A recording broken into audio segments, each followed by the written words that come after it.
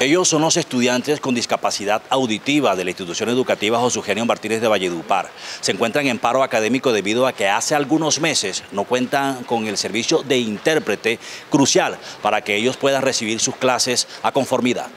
Nosotros, estudiantes sorda, creo que pasa, nosotros antes cuando trabajo, eh, cuando trabajo intérprete, eh, fue Julio Petitos que salieron, pero ellos no, como quieran, no quieren trabajo, pero, pero pues, entonces, nosotros necesitamos dos intérpretes.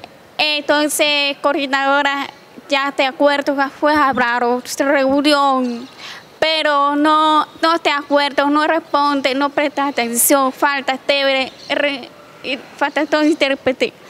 Y además, y ahora me siento muy preocupada y ellos, los profesores, es más difícil explicar, eh, no entiende.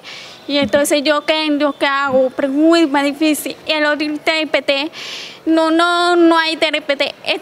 Dijo educación, le dijeron que para ir para aquí no hay intérprete y César tampoco. Si yo no creo si hay intérprete, por aquí es diferente.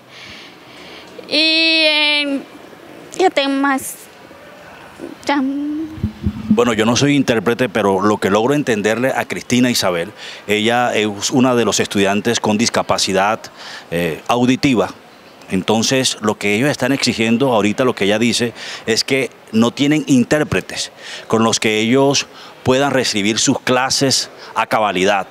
Hace algún tiempo ellos vienen exigiendo y en la Secretaría de Educación le dicen que no hay intérprete y ellos aseguran que posiblemente haya un intérprete en la zona que les pueda garantizar a ellos su derecho a la educación. Entonces, lo que ellos están haciendo aquí, estos estudiantes hoy, aquí en la institución educativa José Eugenio Martínez, es precisamente reclamando su derecho a la educación. Ellos dicen que el gobierno debe garantizarles a ellos que ellos puedan recibir sus clases a conformidad como cualquier ciudadano colombiano. Entonces, aquí lo que nos quería decir aquí la estudiante es precisamente eso, que ellos están exigiendo su derecho a la educación, que exigen eh, que se les garanticen sus derechos y que es necesario que cuenten con un intérprete, porque ya en lo que va corrido del año no han recibido sus clases y que pues al terminar su periodo académico, al ver que pronto va a terminar el periodo académico del año 2022, tienen, se encuentran preocupados porque a la fecha no tienen un intérprete que los ayude a recibir sus clases?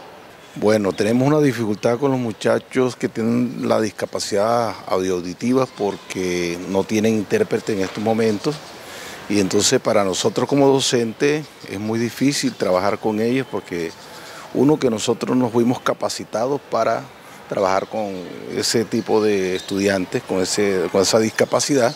Sin embargo, nosotros hacemos todo lo posible por colaborarles y pues brindarle lo mejor posible a ellos para que también sean personas de bien en el futuro y aprendan.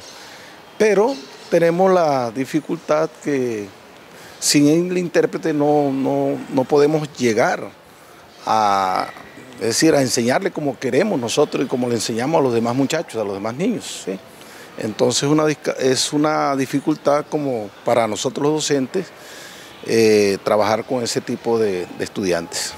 En estos momentos, ¿ustedes cómo se las ingenian para llevarle, digamos, esa información, ya que ustedes no están preparados, como usted lo dice, para esto? Bueno, nosotros a través del tiempo, ya son varios años que tenemos que estar trabajando con ellos. Algunas cositas, una que otra cosita sabemos y buscamos la ayuda de los mismos compañeros, que los compañeritos, algunos eh, tienen esa habilidad de de interpretarles y entonces los ponemos a trabajar con ellos en, grupo y ellos a veces nos sirven de traductor, lo que, lo que nosotros queremos decirles, de interpretarlo. Y, así estamos trabajando, pero es muy difícil porque nosotros tenemos que atender una población de 40, 42 estudiantes, entonces ellos necesitan como una, una cuestión muy especial para llegarles a ellos, ¿sí?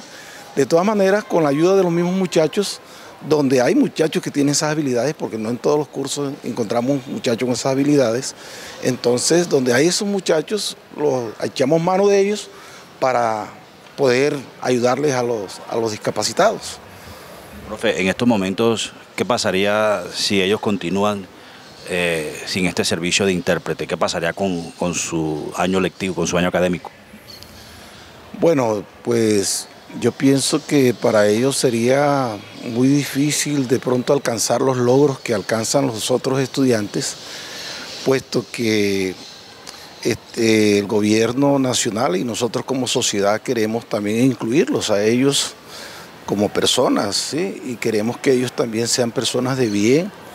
Y pienso que si no tienen esa ayuda para alcanzar los conocimientos que nosotros acá impartimos, el aprendizaje que nosotros acá tratamos de impartirle a los estudiantes, yo pienso que ellos no van a tener la misma, es decir, la misma oportunidad que tienen los demás, ni van a alcanzar los logros que, que pretendemos nosotros como docentes que alcancen todos nuestros estudiantes.